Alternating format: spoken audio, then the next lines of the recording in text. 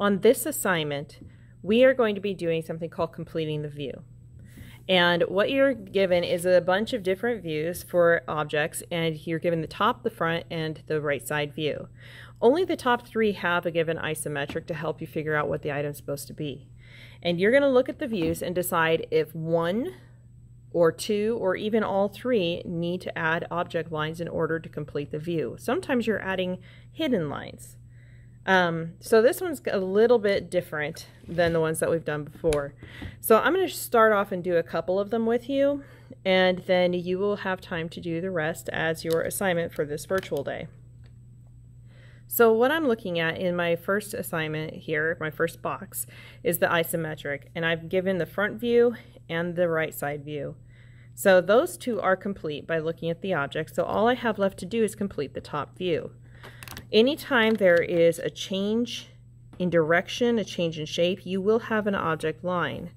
So the first thing I'm going to want to do is translate that line straight up with a construction weight line, and then I'm going to darken in my object line. Okay, this view is done. They've given me my top and my front view complete on number two, but my right side view is incomplete.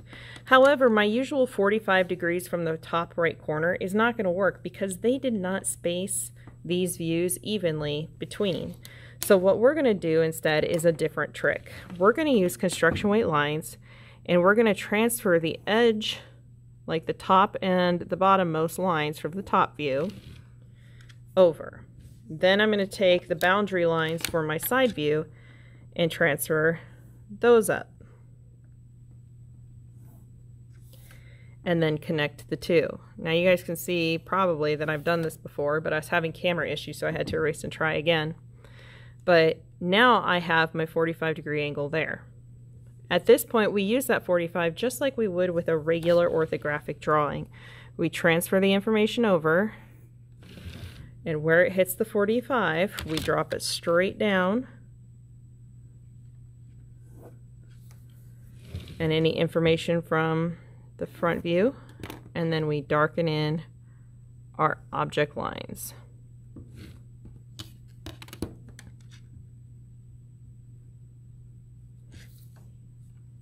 Okay. So the last one that I want to do with you, I'll let you figure out number three. But I want to show you number four real quick because this one kind of makes it a little bit more difficult. Because looking at number four, I'm missing lines on the top and the side view. What I'm seeing here is that I have two rectangles, okay? And it's like two books that are sitting next to each other, but one of them slightly smaller. So what I'm going to be doing there is I'm going to be completing the views by drawing the second object line on the side view and then the second one on the top view. Okay, so this small rectangular object is sitting in front of this rectangular object and now we can see it here and here. This assignment requires a little bit of extra thought. Okay, you're going to have to project lines. You might have to extend lines like on number 11. And number 15, that one makes you stop and think. So take your time, don't rush it. Double check that you've done every box and really try to get a picture of these items in your mind as you're drawing your orthographic views.